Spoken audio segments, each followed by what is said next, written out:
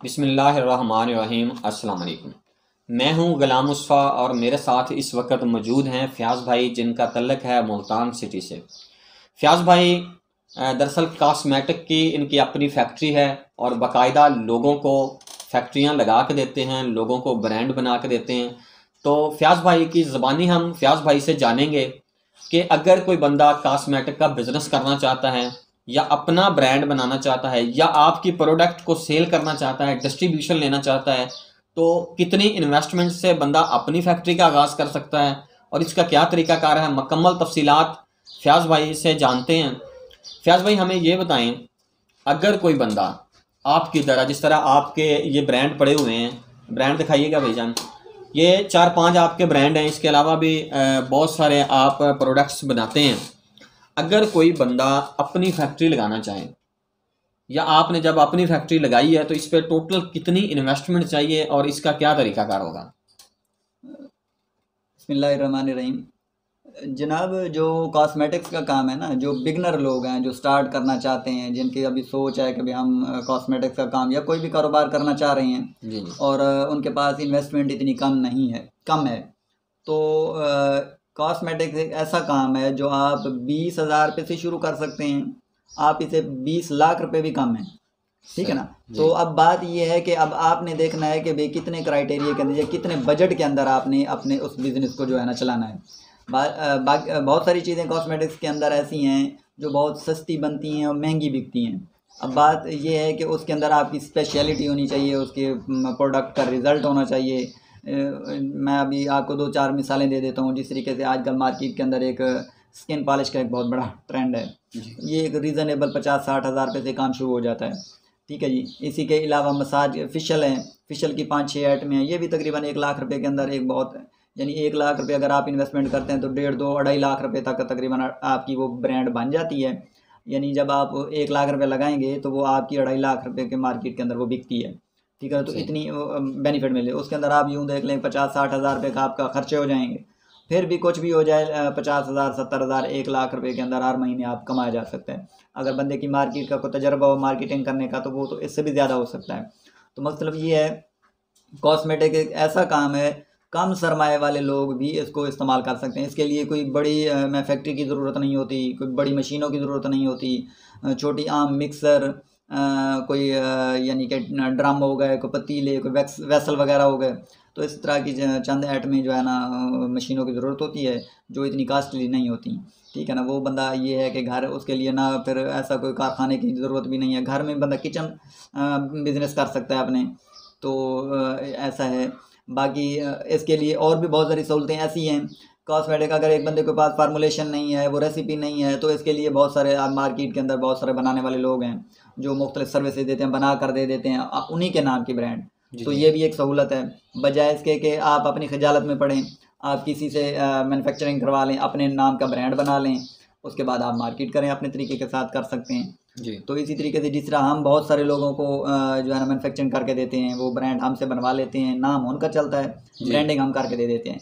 तो उसके बाद हम क्योंकि हमारे पास क्योंकि पूरा स्ट्रक्चर है या इसी तरह मार्केट के अंदर और भी बहुत सारे लोग हैं जिनके पास स्ट्रक्चर है उनके पास मशीनें हैं उनके पास फार्मूलेशन है उनके पास लेबर है बहुत सारे मामला तो उनके पास होते हैं। बजाय इसके कि आप सारी चीज़ें खुद पैदा करें वो आप पैदा करने के बजाय वो पाँच दस रुपये का जो एक्सपेंस आपने खर्च करने हैं इतनी इन्वेस्टमेंट करने के बाद वो आप पाँच दस रुपये का उसको अगले बंदे को मैनुफैक्चरर को दे दें तो आप अपनी ब्रांड भी बना सकते हैं। तो इस तरीके से भी आप कम सरमाए के साथ आप ज़्यादा बेहतर कारोबार कर सकते हैं। जी।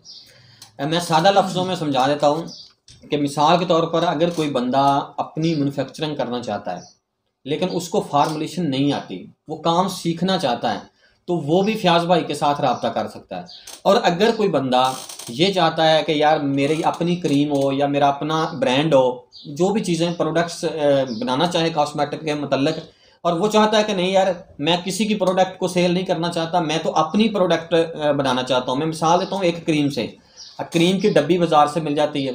रजिस्टर्ड आप अपने नाम से करवाएँ, उसका ट्रेड मार्क ले लें, और आप अपनी डब्बी बनाएँ, अपना पेपर बनाएँ, ठीक है? क्रीम जो है, वो आप फ्याज भाई से बनवा सकते हैं। फ्याज भाई से क्रीम बनवा के आप पैक करवा के मार्केट के अंदर आप अपने नाम से चले जाएँ, मार्केट के अंदर सेल करें। फ्याज भाई ट्रेनिंग भी देते हैं। आप काम सीखना चाहें, काम भी सीख लें। और जब आपकी मार्केट के अंदर एक नाम बन जाए, एक पहचान बन जाए, आपकी प्रोडक्ट सेल होना शुरू हो जाए, उस वक्त आप इन्वेस्टमेंट करके आप अपनी यानी कि फैक्ट्री का आगाज़ करें। जो मशीनरी आपको जिस चीज़ की ज़रूरत हो, वो बाद में आप ले लें। स्टार्टिंग में मेरा मशवरा भी यही होता है कि स्टार्टिंग में ज़्यादा इन्वेस्टमेंट करने की बजाय छोटे पैमाने से बिज़नेस को शुरू करें। तो फयाज भाई इसकी सहूलत देते हैं। काम सीखने वालों को काम सिखाते भी हैं। अगर कोई सीखना चाहे तो इनके सेटअप पर आके काम सीख सकता है। और अगर कोई बंदा अपना ब्रांड बनाना चाहे तो वो ब्रांड बनवा सकता है। अगर भाई फ्याज की प्रोडक्ट्स की कोई डिस्ट्रीब्यूशन लेना चाहे तो वो फ्याज भाई से डिस्ट्रीब्यूशन भी ले सकता है। तो फ्याज भाई से हम जानते हैं कि फ्याज भाई अगर कोई बंदा काम सीखना चाहता है या डिस्ट्रीब्यूशन लेना चाहता है या किसी भी सिलसिले में वो आपसे रबता करना चाहता है तो इसका क्या तरीकाकार है? सर तरीकाकार ये है कि अगर कोई हम बहुत सारे इलाकों में हमारे वैसे तो डिस्ट्रीब्यूशन चल रही हैं और बहुत सारे इलाके अभी बचे हुए हैं जहाँ पर हमारे ब्रांड के डिस्ट्रीब्यूटर अभी तक नहीं बने। ठीक तो वो हम डिस्ट्रीब्यूशन भी देते हैं। मुख्तलिफ़ इलाकों में जो हमारे टर्म एंड कंडीशन है वो फिर बातचीत कर ली जाती है कि भैया किसी को दस परसेंट बारह परसेंट या जो भी परसेंटेज वो तय हो जाती है। अच्छा इसके अलावा एक तो ये तरीकाकार है। उसके अलावा बहुत सारे लोग हमसे जिस तरीके से अपनी ब्रांड बनवाते हैं तो उसके लिए फिर वो हमारे पास मुल्तान तशरीफ़ लाएँ हमारा सेटअप भी देखें हमारे पास समझें भी सही कि काम किस तरह बन करना है बनाना चीज़ें किस तरह होती हैं। तो वहाँ पर हम फार्मोलेशन भी देते हैं।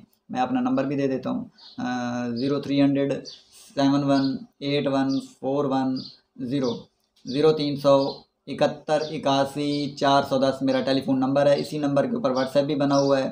आ, कोई बंदा अगर हमसे ब्रांड बनवाना चाहे या हमारी कोई ब्रांड की डिस्ट्रीब्यूशन लेना चाहे हम हाजिर हैं। और अगर कोई बंदा हमसे सीखने की कोई बात करता है तो हम बहुत सारे लोगों को पहले भी बहुत कुछ हमसे जो मुमकिन हमसे जितना पॉसिबल है वो हम सिखा देते हैं।